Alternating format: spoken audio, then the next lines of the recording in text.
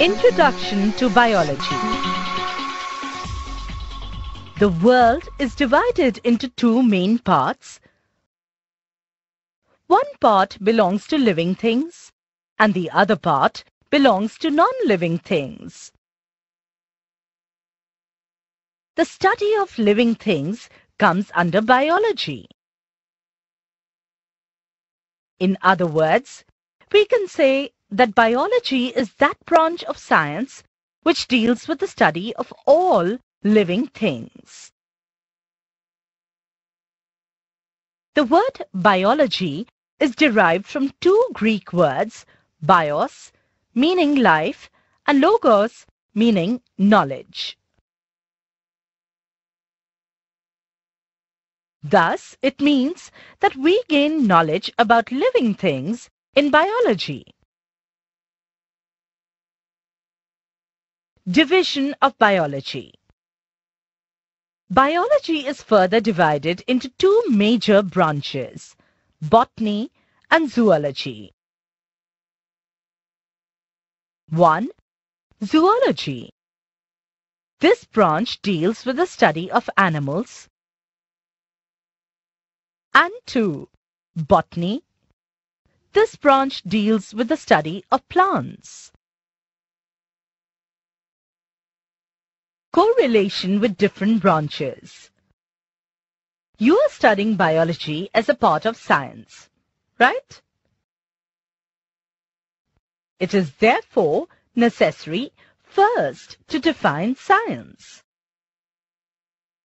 Science is an organized body of knowledge supported by observation and experimentation derived from the study of natural phenomena of the entire material universe.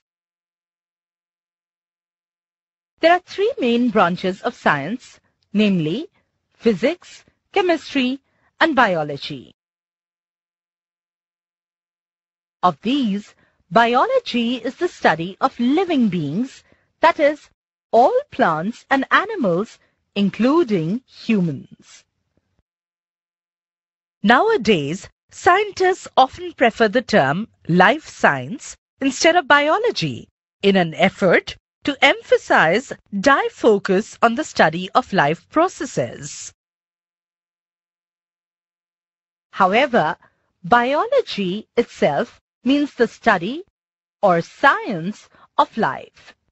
Remember, the Greek word bios means life and logos means study. Growth of biology No one can say when the study of biology exactly began. Primitive man lived in jungles and caves. He collected food from natural vegetation and hunted wild animals. Through this activity, he learned about the life and habits of different animals and recognize various plants and their parts. That was the beginning of biology. The drawings of animals and plants in the caves of prehistoric periods in the figure are proofs of primitive man's interest in the plants and animals around him. With the evolution of culture, man began to live in settled communities and started farming. He domesticated animals such as the dog, cow, sheep, horse, and buffalo. These practices gave him further opportunities for the study of the ways and life of these animals. Thus, biology grew more and more. Greeks were probably the pioneers of an organized study of biology. Some important biologists Aristotle 384 to 322 BC was the first person to study animals in sufficient detail, and he is called the founder or father of biology. Theophrastus 370 to 285 BC mainly studied plants and is said to be the father of botany. Hippocrates 460 to 377 BC rationalized the science of healing and treating the sick. He is called the father of medicine.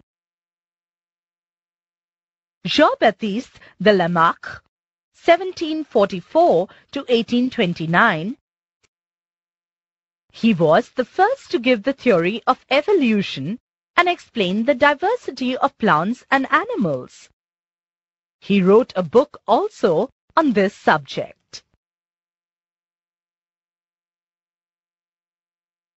Anton van Leeuwenhoek 1632 to 1723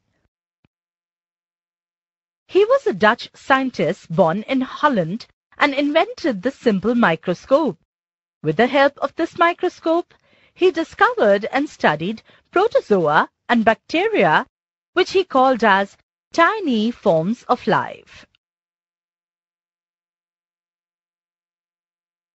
Robert Hooke, 1635 to 1703. He was an English scientist. He discovered the porous structure of cork. He observed thin slices of cork under a microscope and found tiny one-comb-shaped compartments in the cork, which he called cells. Biology in the 19th century In the 19th century, biology took several major leaps through the discovery of germs, wider acceptance of the theory of organic evolution, establishment of the cell theory, etc. Now, the 21st century and this century is poised to unravel more mysteries of nature and miraculous innovations in medicine and agriculture. Biology has already progressed a great deal in the field of vitamins, hormones, genetics, genetic engineering, antibiotics, cancer research, cloning, stem cell research, organ transplant, environmental sciences, life in outer space, etc. Important branches of biology Biology is divided into several branches. This division can be made in at least three different ways depending upon major kinds of organisms, special groups of organisms, and the approach in studying them. Let us first study in terms of major kinds of organisms. The principal subdivisions of biology in terms of major kinds of organisms are as follows. Botany, the study of plants.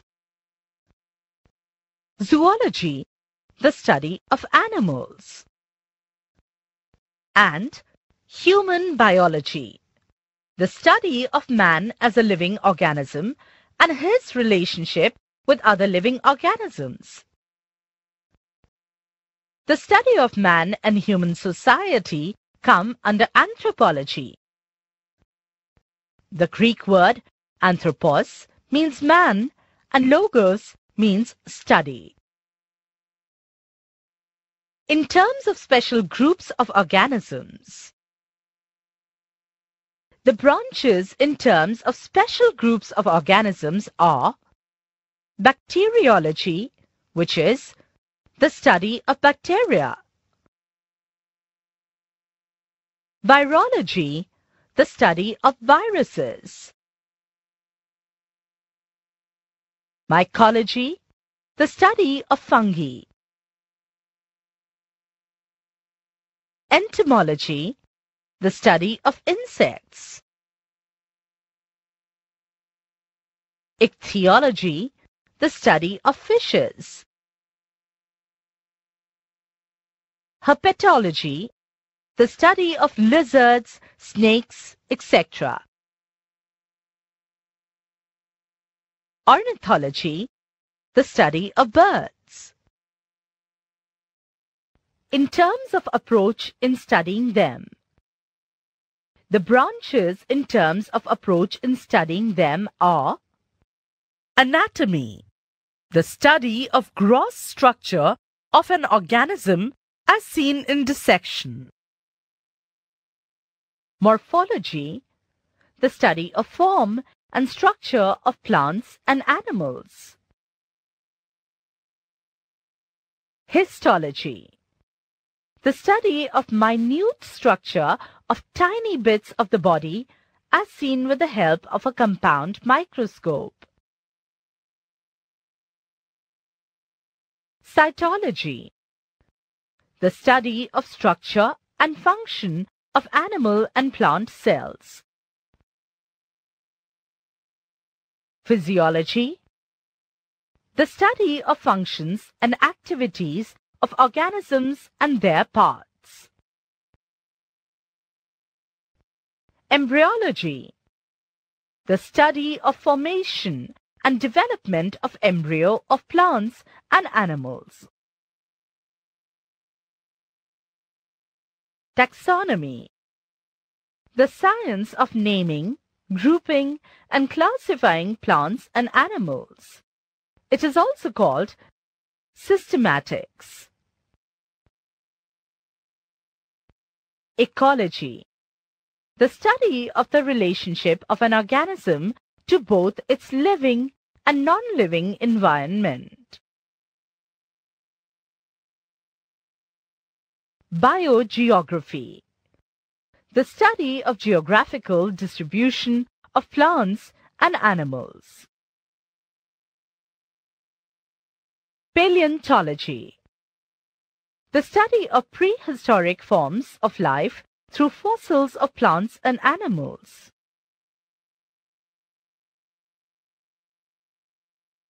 Evolution The study of origin and descent of organisms. Genetics The study of the transmission of body characteristics, both similarities and differences from parents to offsprings.